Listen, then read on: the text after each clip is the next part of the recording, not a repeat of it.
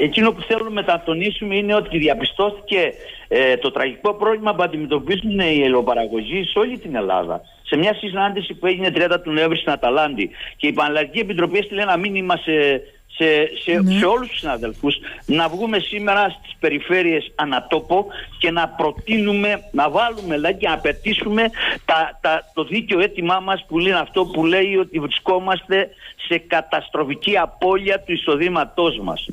Τα δέντρα, κυρία Δουλγεράκη, γονάτισαν από την έλλειψη φροντίδας νερού, αρρώστιες, αδυναμίες στα εφόδια, φάρμακα, λιπάσματα κτλ.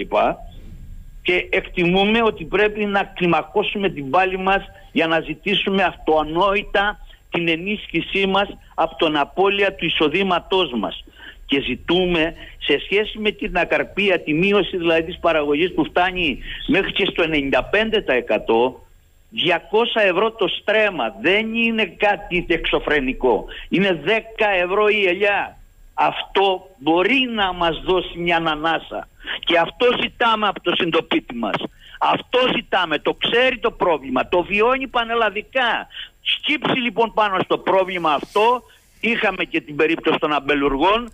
Έχουμε και την περίπτωση των ελαιουργών. Θέμε λοιπόν μια ενίσχυση τέτοια που να μπορούμε το επόμενο διάστημα να τα πάμε πέρα. 10 ευρώ ένα ελιά. Λέτε εσείς ότι δεν είναι και πολλά. Μια ενίσχυση, δεν ξέρω τώρα βεβαιότατα τα, με οικονομικά σε τι κατάσταση είναι, τι θα επικαλεστούν λίγο παρακάτω και κατά πόσο μπορεί το αίτημα αυτό να επιτευχθεί. τέτοια ζητήματα είναι ντροπή γιατί όλη την οικονομία της Ελλάδας, τις φοροαπαλλαγές, τι στέλνουν εκεί που ευνοούνται οι μεγάλοι επιχειρηματικά, μεγάλα επιχειρηματικά συμφέροντα. Μην ανοίξουμε πάλι αυτή την κουβέντα. Εμείς ζητάμε να επιβιώσουμε. Ξέρουμε ότι αυτή την περίοδο η ξηρασία, η ανομβρία, όλη αυτή έχει καταστρέψει την ελιά. Δεν επανέρχεται κυρία Δουλγεράκη. Η ελιά μέχρι το επόμενο διάστημα της νέας της οδηγιάς δεν θα επανέρθει. Το ξέρουμε, έχουμε πείρα εμείς από αυτά. Άρα λοιπόν ας σκύψουν πάνω, στο, πάνω σε αυτό το ζήτημα μαζί με βέβαια με αυτό το τεράστιο τραγικό κόστος παραγωγής με το πετρέλαιο, με το ρεύμα, με τα ΦΠΑ, έτσι, με τον κανονισμό του ΕΛΓΑ που μας, δεν μας εξασφαλίζει αποζημίωση, με, την, με το ΔΑΚΟ, με τη ΔΑΟΚ, να στελεχωθεί ΔΑΟΚ και να μας δώσει μια δημόσια κάλυψη. Καλά, αυτό το θέμα με τον ΕΛΓΑ χρόνια το λέτε. Λέω αυτό το θέμα με τον ΕΛΓΑ χρόνια το, το λέτε. Με δηλαδή μια κάλυψη στο 100%. Το λένε και αυτοί. Και, και το, το λένε, και αυτοί και ναι, αυτό το τραγικό. Ναι, και το τώρα λένε το θα αλλάξουν κανονισμό τώρα, προς όφελος των ιδιωτικών ναι, Τώρα το λένε. Και με τον ΟΠΕΚΕΠΕ χρόνια φωνάζατε, αλλά ε. για το πώς συστάθηκε τι έγινε.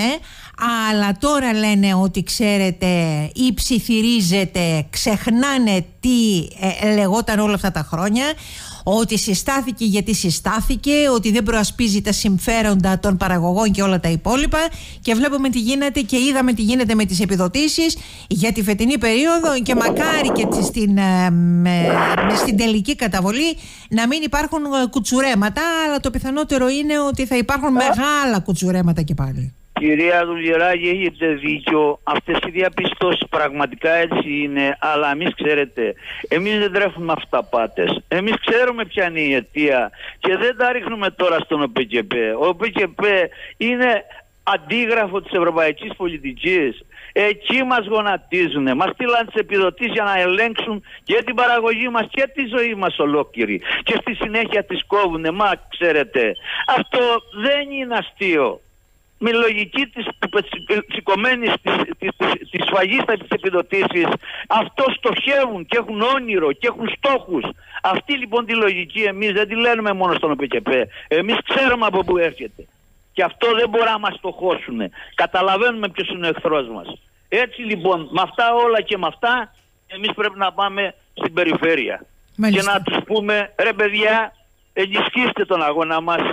Δώστε δίκιο στο δίκιο μας και αποδεχτείτε το πλαίσιο των ετοιμάτων μας γιατί είναι πραγματικά καθαρά αναδεικνύουμε το πρόβλημα της ύπαρξής μας. Mm. Εσείς και αυτά τα ζητήματα κυρία Δουλγεράκη είναι ζητήματα που μόνο το οργανωμένο και καλά προσανατολισμένο ε, αργοτικό κίνημα α, α, μπορεί να το, να το βάλει. Δεν μπορεί να το βάλει ο κατά καιρούς εκάστοτες παράγοντας ο οποίος μπορεί και έχει τη δυνατότητα να ανοίγει την πόρτα του Υπουργού, να αγκαλιάζονται, να φιλιούνται, να αλλάσουν κρουσά τα μαντήλια και ρακές. Δεν λύνονται έτσι τα προβλήματα και γι' αυτό καλούμε τους συναδέλφους να πυκνώσουν τις γραμμές μέσα στους αγροτικούς συλλόγους. Μόνο με αυτό το, τον αγώνα δεν μπορεί κανείς να μας χειραγωγήσει. Ε, εντάξει, τώρα κύριε Καρκαβάτσο, ανοίγεται πολύ μεγάλη κουβέντα. Δεν ξέρω αν είναι ε, μαντήλια, αρακέ, ναι, ναι. τραγούδια και χωρί και όλα τα υπόλοιπα. Αλλά μην ξεχνάτε ότι δεν έχει να κάνει με ένα πρόσωπο, δύο πρόσωπα ή πέντε εκπροσώπους συλλόγων. Έχει να κάνει με όλη τη βάση του αγροτικού ζητήματος, με τον τρόπο που συμπεριφέρεται, πώς συμπεριφέρεται και ποια, και ποια, και ποια Γιατί είναι. Οι παραμέτροι γονατίζουν τη διάθεσή μας. Ε, ναι, εντάξει, αλλά το ξεκινάς όμως από τη βάση για να πας και στις ε, παραμέτρους για να δεις τι είναι και αυτό που θέλει ο Μανώλης, η Αγγέλα, η Κατερίνα, ο Νίκος, ο Μίτσος, σε πάση περιπτώσει, για να μπορέσει να πείσει και τον άλλον ότι θα πρέπει να διεκδικήσει και πώς να διεκδικήσει αυτά τα οποία ε, ε, θα πρέπει ε, ή αντιμετωπίζει, να το πω διαφορετικά, και με αυτά τα οποία θα πρέπει να έχει στη μέρημνά της η ίδια η πολιτεία. Εσείς 11 η ώρα στην περιφέρεια Κρήτης Πλατεία Ελευθερίας, εδώ στο Ηράκλειο, είναι το κάλεσμα το δικό σας, δηλαδή του Αγροτικού Συλλόγου Αρχανώνα Αστεροσίων και του Αγροτικού Συλλόγου Ηρακλείου και στα Χανιά ναι. την ίδια ώρα είναι πλατεία δικαστηρίων, έτσι, από την Ενωτική Ομοσπονδία Αγροτικών ναι, ναι. Συλλόγων.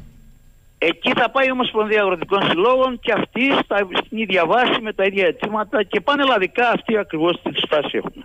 Μάλιστα. Λοιπόν, αυτή είναι η σημερινή ε, κινητοποίηση και είναι η εικόνα της Κρήτης με αυτές τις δύο κινητοποιήσεις αλλά είπατε σε όλη την Ελλάδα σήμερα οι αγρότες των πλόκων ε, σε με τοπικά διαμερίσματα ε, ενεργούν με τον ίδιο τρόπο, αν σωστά το κατάλαβα. Έτσι πως το λέτε, είναι οι αγρότες που εκφράζονται με τον αγώνα στα μπλόκα.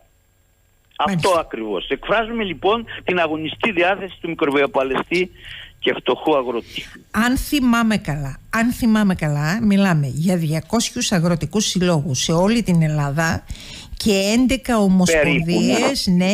οι οποίες θα πρέπει να πάρουν μέρος σε αυτή την κινητοποίηση σήμερα μετά την πρόσκληση της Πανελλαδικής Επιτροπής των Μπλόκων ναι, αν θυμάμαι καλά όχι, ακρι, όχι ακριβώς οι 200 οι, ελαιοπαραγωγικοί, οι ελαιοπαραγωγικές περιοχές είναι δηλαδή αυτές που είναι από Πρέβεζα, Άρτα, Νησιωτική Ελλάδα, mm. Πελοπόννησο αυτές που παράγουν κύρια την, την, την, το λάδι γιατί η Πανελλαδική Επιτροπή, οι πρωτοβουλίες της ήταν θεματικές και σε επίπεδο άλλων προϊόντων.